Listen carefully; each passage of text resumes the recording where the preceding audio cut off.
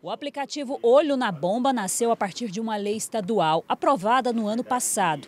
A parceria entre Ministério Público e o UFG criou a plataforma que vai trazer em tempo real o preço dos combustíveis em todos os 1.795 postos de Goiás. A intenção é criar um mercado de combustíveis com preços mais justos. Nós esperamos que, caso o aplicativo tem uma boa adesão social, todo mundo passe a abastecer no preço composto mais barato. Com isso, aquele preço que hoje pratica um valor mais elevado, para se manter no mercado, vai ter que reduzir seus valores. O aplicativo é muito simples e fácil de mexer. Ele foi desenvolvido por professores e alunos do Instituto de Informática da UFG e, além do preço dos combustíveis, também traz outras funcionalidades cada pessoa, como é comum entre a gente, nós costumamos abastecer em postos específicos. Então a pessoa vai poder, é, a gente fala, favoritar um posto em relação, eu quero saber quanto está o combustível no posto X que eu gosto muito, que eu estou acostumado a abastecer. Você vai poder fazer isso antes de sair de casa. Você não precisa chegar no posto para saber o preço atual.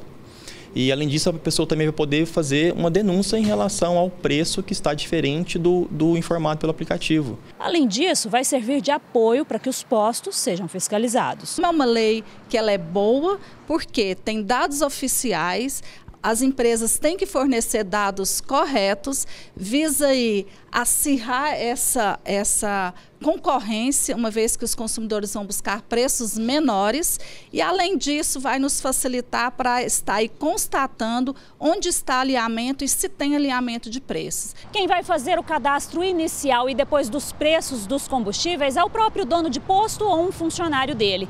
Entre maio e junho, os donos de postos tiveram a chance de fazer o cadastro e cerca de 500 postos já estão no sistema do Ministério Público. Agora, nesta segunda-feira, começa o prazo oficial para as inscrições, que são obrigatórias, e esse prazo vai até o dia 8 de agosto. Quem não fizer o cadastro pode levar uma multa que vai de 600 a 9 milhões de reais. O aplicativo só deve estar disponível ao público em setembro.